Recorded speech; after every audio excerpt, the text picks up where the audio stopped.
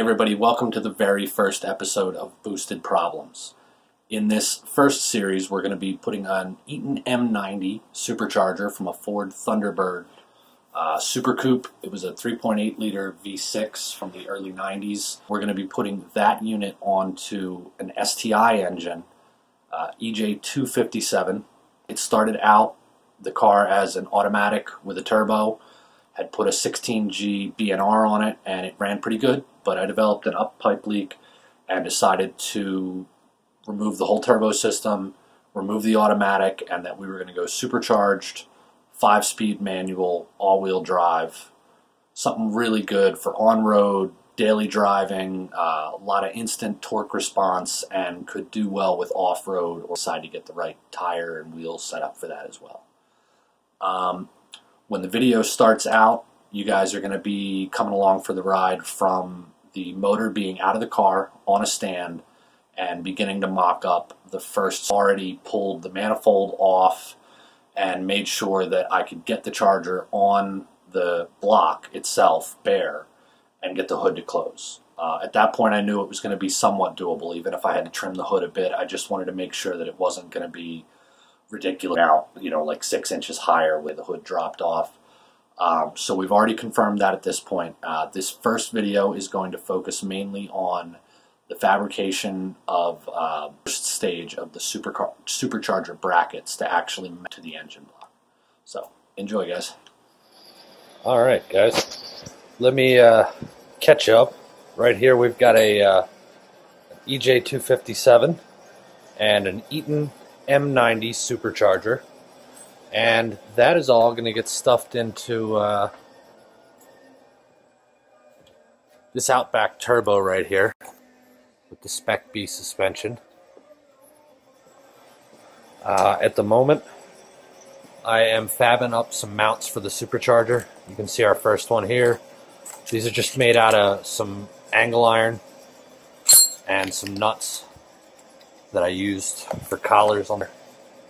Uh, that's the first one there. This second one is going to get welded in down there and then tacked and hammered here wrap around and then we're going to do a third one off of uh, the hole here that'll come up we'll have a little TP uh, I've also got a mount back here and a mount on this side uh, that we're, they're going to be a little bit more tricky, but I'm going to make a similar stand for the other two points, and then we're going to tie this all together, and then I'm going to have to bring that over to the back ear of this alternator. And there's also a matter of possibly installing an ear for the other side. As of right now, the alternator is just mounted in with one bolt, but uh, it's I mean, it's pretty solid. I'm moving the whole motor, um, but obviously it would pivot. So that's going to need to be dressed back here on this ear. We'll bring an L bracket in from over here on catch the bolt from here, bring that over, uh, and possibly brace that down with this. That way it's not just this, it'll be that too. We'll brace that up there. That's going to leave me plenty of room for the hoses and everything. Um, the reason I'm using the Ford M90 is because the top hat that comes out over this with an output that's about, uh, I think it's a little bigger than two and a half inch. Um, I may chop that and end up putting a three inch output on it because that's what the air to water is going to be. Um, it's a built motor. It's got Manley pistons, rods, hardened crank. Um, for right now, I'm just going to get this supercharger mounted up, and we've got two pieces of. I've got two of these bends. It's a nice thick aluminum. I'm going to chop these bead rolls off, and the plan is going to be to have this come off like that. Then we're going to do another one right. And this is going to tie in to the back of the other one. Uh, I'll show you what I mean right here. I'm going to actually tie it in sort of like that. And then when we do that, where they tie in right here, I'm going to bump the pipe up and oval it so that I can have both of them on there and get a nice smooth transition. Uh, so that's going to be the intake manifold. I'm going to have two pipes that come back here to about there, and then that's going to go together to a three inch that's going to come underneath right here, back here where the intercooler used to go. Um, so as long as I leave enough room for the slave cylinder on the clutch, uh, which is going to be tricky because this is also getting converted to uh, 4.45 MT. So we're going to go from a five-speed or automatic box that I had in here to this five-speed manual.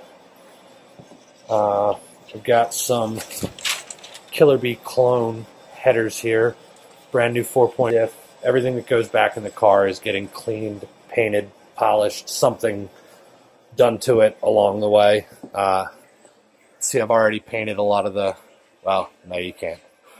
But that's all for now. All right, so update on the uh, motor here. I've got the brackets are uh, quite a bit more done now. I'll show you guys in a second here. I've got some shims on here. I'm going to get one spacer and I'm going to weld it on there. I'm going to use that to really center everything uh, once I have the right size bolts. Uh, these are just bolts I had laying around that were long enough. I mean, they're probably about five inches and skinny, so it was slim pickings. I still have to go and get some more for the back one here. Uh, I started making a mount here though that's coming off of the other one as well as these two holes. Let's see. I just got them tacked together. I ran out of argon, so the weld started getting a little crappy, and I just just got two new bottles. The plan here is I still have to shim a few things up this area right down here. If you can see it, but between the two of those, except for the, the back edge right there, is the only spot that's hitting. So I'm going to go underneath and I'm going to shave off just this edge of the supercharger. You can see how that one comes off and it's very flat. This one has a bit of a lip to it and that is actually how the other one used to be. Uh, I probably chopped, but I was able to get this gap down back here at the very back towards the block. I used to be about that far away from the bolt. And when this supercharger was sitting on the block, I only had about this much to the hood. So I wanted to get it as close as I can. I'm actually going to trim this bolt up just a little bit. Not enough that it'll slip with a bolt, uh, just enough that I can come down as much more as I have after I trim the piece over here. Um, because I'm also trying to get the charger to just just the right lean with the engine. Um, the motor's a little stand. It's just how the hole is drilled in the back. No other way for me to get it any straighter than this. Uh, not with it, you know, staying and not flipping over. Um, but yeah, so next step's going to be to trim this up a little bit. Once I'm really happy with the fit on that, um, I'm also going to get a longer bolt.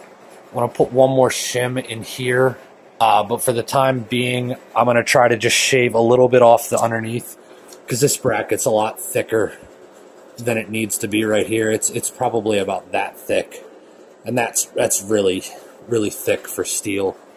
Uh, so I'm going to take just like maybe a millimeter off of that so that I've got a little bit more because you can see I'm working with nothing here until I go get some longer bolts. Uh, and they're also going to help locate it a little bit better so I can see if I'm going to have to file out any of these holes uh, and maybe uh, fill some of the brackets in with a weld to, to kind of shift things forward or back.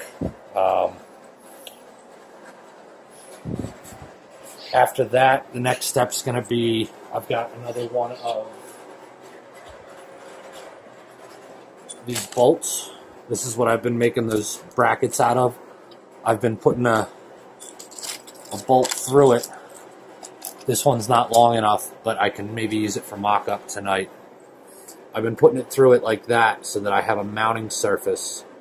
And then I take the angle iron. I'm going to take a piece from here down to here. There's probably going to be one that comes down this way and then another one that goes that way so that it has, it's kind of triangulated. And depending on space, I might, I might throw one more in somewhere else. Um, I'm definitely gonna have to tie into this alternator ear somewhere. Gotten a little bit Uh, further since last night. Um, we were working on this mount last night, right here, um, where we left off. I had